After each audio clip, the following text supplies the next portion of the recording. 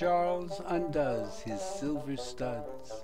He then rolls up his sleeves and waves his arms as honking swans rejoice at his decrees. Long may he wave, the swamp frogs rave, each joining in the din, singing just for him.